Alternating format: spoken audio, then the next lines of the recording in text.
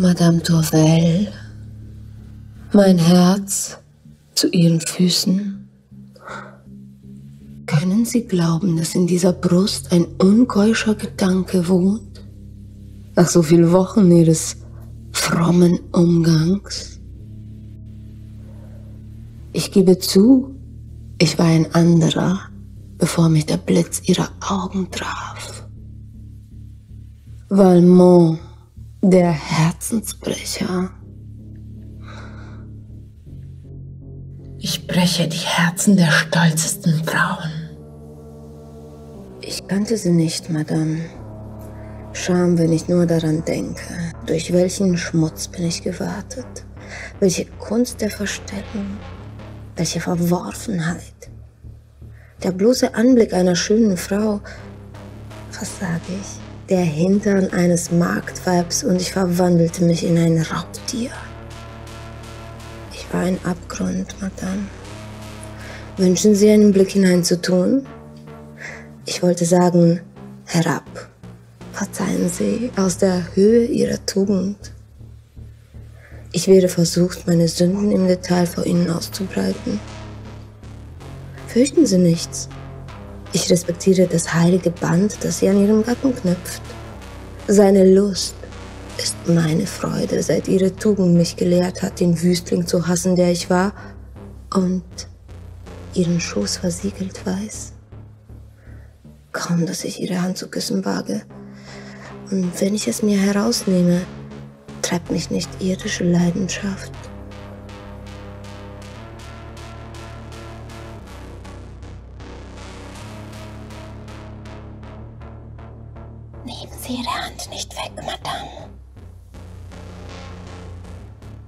Ein Trank in der Wüste. Selbst die Liebe Gottes braucht einen Körper. Warum sonst ließ er seinen Sohn Mensch werden und gab ihm das Kreuz zur Geliebten? Wollen Sie mein Kreuz sein? Sie sind es durch das Sakrament ihrer Ehe, nicht mit mir.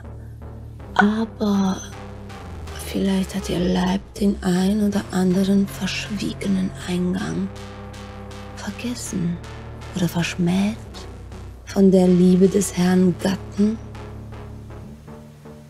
Kann es weniger als eine Todsünde sein, was uns zu denken gegeben ist, nicht auch zu tun? Das Instrument unserer Leiber ist es uns nicht verliehen, damit es gespielt wird, bis das Schweigen die Saiten sprengt? Der Gedanke, der nicht Tat wird, vergiftet die Seele.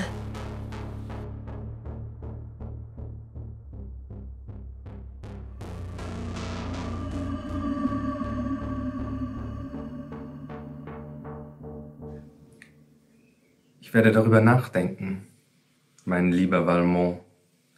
Es rührt mich, Sie so besorgt um das Heil meiner Seele zu sehen. Ich werde nicht versäumen, meinem Gatten davon Mitteilung zu machen, dass der Himmel ihn zum Verweser all meiner Öffnungen bestimmt hat. Nicht ohne Erwähnung der selbstlosen Quelle, aus der mir die Offenbarung sprang. Ich sehe, Sie teilen meine Vorfreude auf die Entdeckungsreisen im ehelichen Bett. Sie sind ein Heiliger, Valmont. Oder sollte ich mich in Ihnen getäuscht haben? Sollten Sie mich getäuscht haben? Spielen Sie ein Spiel mit mir? Was verbirgt diese Grimasse? Eine Maske oder ein Gesicht? In meinem Herzen keimt der schreckliche Verdacht, dass Sie mit dem Mantel der Gottesfurcht eine sehr irdische Leidenschaft bekleiden. Fürchten Sie, Valmont, den Zorn einer beleidigten Gattin. Fürchten? Was hätte ich von Ihrem Zorn zu fürchten als den Wiederaufbau meiner erschütterten Tugend? Fürchten? Ich suche Ihren Zorn, Madame. Jeder Schlag wird eine Liebkosung sein, jeder Riss von Ihren Nägeln ein Geschenk des Himmels, jeder Biss ein Denkmal. Ich bin keine Gans, Valmont wie Sie zu glauben belieben. Ich werde Ihnen nicht das Vergnügen machen, ein Werkzeug Ihrer abartigen Lust zu sein. Tränen? Milord, Sie töten mich, wenn Sie Dolche reden. Vergießen Sie mein Blut, wenn das Ihren Zorn besänftigen kann. Aber verhöhnen Sie nicht meine besten Empfindungen. Lassen Sie mich Ihre Zweifel zerstreuen. Eine Probe meiner Festigkeit. Entblößen Sie zum Beispiel diese Brüste, deren Schönheit der Panzer des Kostüms ohnehin nicht verbergen kann. Der Blitz soll mich treffen, wenn ich auch nur die Augen aufhebe. Von meiner Hand zu schweigen, sie soll verfaulen, wenn. Fallen Sie, Valmont. Fallen Sie, der Blitz hat Sie getroffen. Und nehmen Sie Ihre Hand weg. Sie riecht faulig. Sie sind grausam. Ich?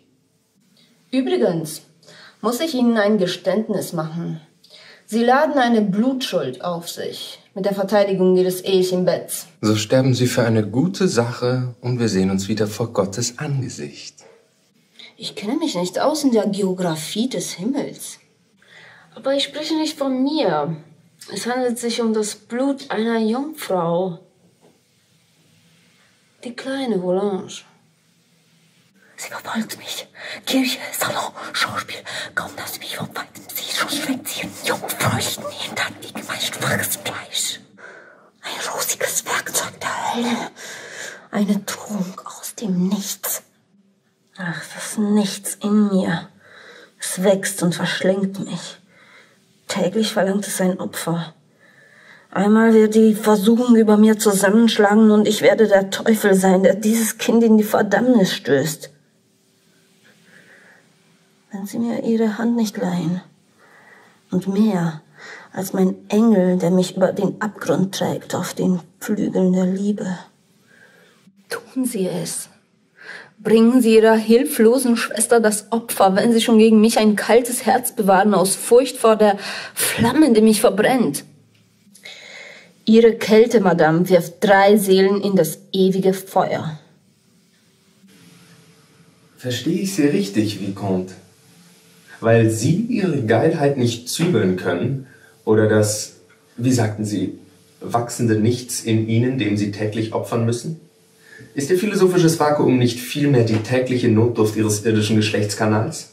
Und weil diese eine Jungfrau nicht gelernt hat, sich mit Anstand zu bewegen, in welcher Lasterhülle von einem Kloster muss das aufgewachsen sein? Soll ich das Glück meiner Ehe opfern? Ach, besinnen Sie sich auf Ihr besseres Selbst. Die Lust, wird vielfach sein.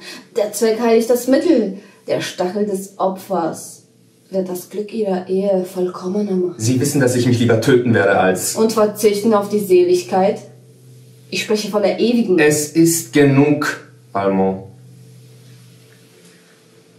Ja, es ist genug.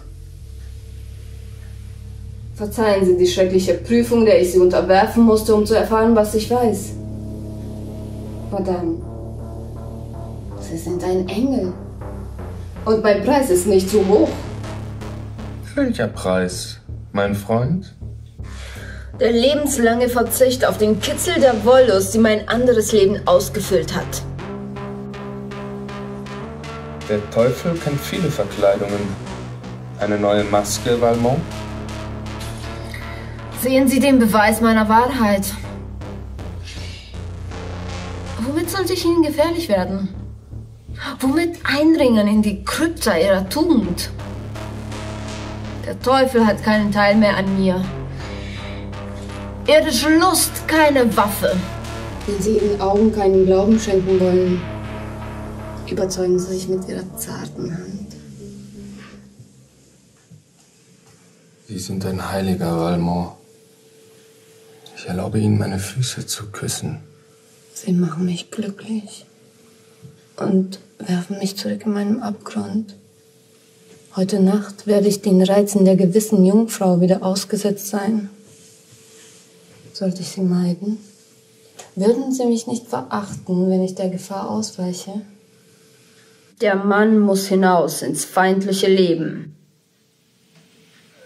Lassen Sie mich meine geringe Kraft an Ihrer nackten Schönheit messen, Königin beschirmt vom Zaun der Ehe, damit ich ihr heiliges Bild mir vor die Augen halten kann.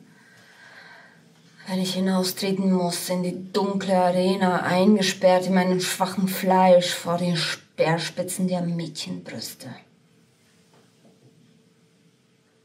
Ich frage mich, ob Sie diesen Brüsten widerstehen werden, Vicomte.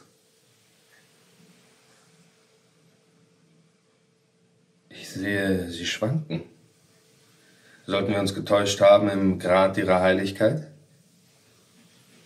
Werden Sie die härtere Probe aushalten?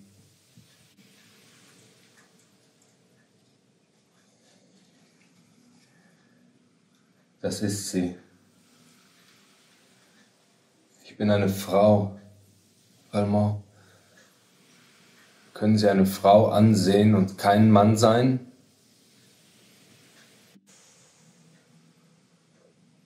Ich kann, Lady.